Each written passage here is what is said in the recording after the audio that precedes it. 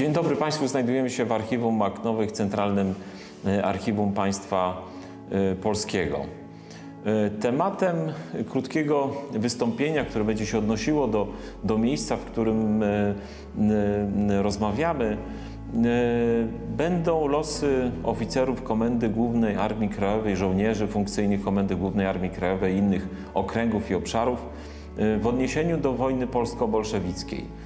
E, Bo tak nasza historia XIX i XX wieku e, wygląda, że żołnierze walczący w powstaniach e, kolejnych pełnili potem funkcje w kolejnych zrywach narodowych i tak też, tak też było w przypadku głównej części oficerów Komendy Głównej Armii Krajowej. Część biografii e, głównych postaci polskiego państwa podziemnego została już e, opisana, bo, e, bo mamy książki biograficzne dotyczące Stefana Roweckiego-Grota, mamy książki dotyczące Tadeusza Pełczyńskiego, e, generała Bora Komorowskiego, Wandy Gerc, e, Zofii Franio i szeregu, szeregu innych, innych postaci.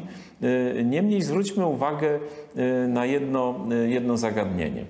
E, Przede wszystkim e, możemy stwierdzić, że średni szczebel funkcyjnych oficerów Komendy Głównej e, Armii Krajowej i poszczególnych oddziałów w okresie wojny polsko-bolszewickiej występował w charakterze ochotników. Nie byli to jeszcze żołnierze typowo o funkcjach dowódczych, ale młodzi, młodzi ludzie, roczników e, e, wcześniejszych, kilkunastoletni czy dwudziestokilkuletni e, młodzi ludzie, którzy przystępowali do, do walki, walki e, e, z racji chęci służenia ojczyźnie. I w tej, w tej dużej grupie znanych postaci później w okresie II wojny światowej możemy, wymienić choćby Bronisława Hańskiego, Borynę, komendanta PKB miasta stołecznego Warszawy, choćby Mariana Giejsztora,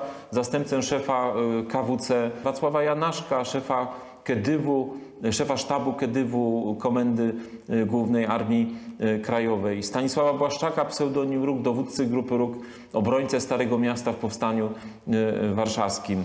Czy wspomnianą przed chwilą Wandę Gerc, pseudonim Lena, dowódcę oddziału Dysk Kedywu Komendy Głównej. Komendanta największego obwodu Armii Krajowej na terenie Okręgu Warszawskiego Zygmunta Rylskiego, Hańcze, który też był ochotnikiem w okresie wojny e, pols- polsko-bolszewickiej. E, Wspomniano też Zofię e, Franio, dowódcę kobiecych patroli minerskich, czy też Witalisa Marynowskiego, Stefana Golędzinowskiego, Golskiego, czy tak pomnikową postać jak Witold Pilecki, o którym często mówimy w kontekście tej historii II wojny światowej, a od stycznia 1919 roku, który służył w oddziale majora Jerzego Dąbrowskiego e, i też ma swoją kartę zapisaną pod kątem udziału w wojnie polsko-bolszewickiej.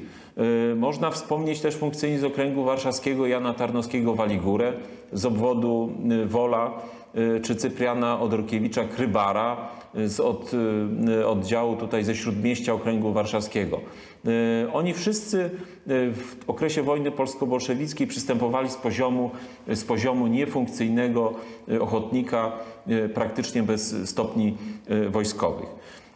Niemniej największą grupę oczywiście wśród tych funkcyjnych, o których przecież dzisiaj mamy krótko powiedzieć, byli, byli wyżsi oficerowie Komendy Głównej, komendanci ZWZK, czy poszczególni dowódcy oddziałów i, i pododdziałów, którzy w okresie wojny polsko-bolszewickiej, czy nawet wcześniej legionów, e, pełnili albo funkcje wojskowe lub też posiadali konkretne, konkretne stopnie e, wojskowe. I oczywiście tutaj e, e, w gronie tych e, można wymienić praktycznie wszystkich komendantów głównych ZWZ, SZP, ZWZ AK, od Michała Tokarzyskiego-Karaszewicza poprzez Stefana Roweckiego, Tadeusza Bora Komorowskiego, Leopolda Okulickiego, ich udział w okresie wojny polsko-bolszewickiej jest, jest udziałem, udziałem znanym, czy wspomniany wcześniej Tadeusz Pełczyński, pseudonim Grzegorz. Zarówno możemy tutaj wymienić Jana Skorobohatego Jakubowskiego, łącznika pomiędzy delegatem, delegatem rządu a komendantem głównym ZWZAK E, czy też takie postaci jak Janusza Albrechta, Henryka Józefskiego, e, dowódcę oddziału, komendanta oddziału pierwszego Komendy Głównej AK Antoniego Sanojcę, Jana Gorazdowskiego z tegoż też oddziału. Bardzo dużo e, oficerów oddziału drugiego Komendy Głównej Armii Krajowej pełniło funkcję i walczyło w okresie pol wojny polsko-bolszewickiej.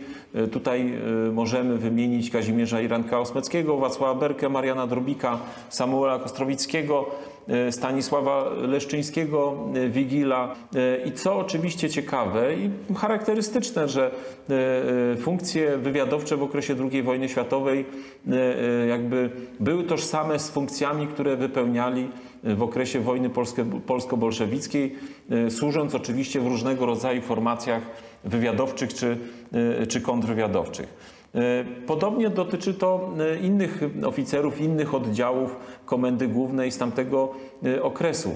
W przypadku samych komendantów poszczególnych oddziałów mamy do czynienia z sytuacją, że oczywiście więcej, znacznie więcej spośród tych postaci brało czynny udział w okresie wojny polsko-bolszewickiej niż tych, którzy takiego udziału nie brali. Oczywiście nie wszyscy walczyli z bronią ręku. Część z nich była też przeznaczana do E, do e, czynności szkoleniowych.